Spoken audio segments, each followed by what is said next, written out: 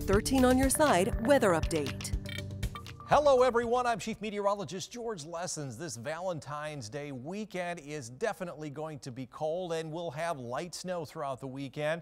Enhanced by lake effect snow right at the lakeshore on Sunday, maybe enough to shovel and plow. Very cold starting Sunday with highs only in the teens that will last through Monday, but next week not quite as cold as we'll warm from the 20s into the 30s. Other than that, Monday night and Tuesday morning snow is now trending further to the south and east. We may see less snow with that as we get closer to that event. 13 on your side forecast.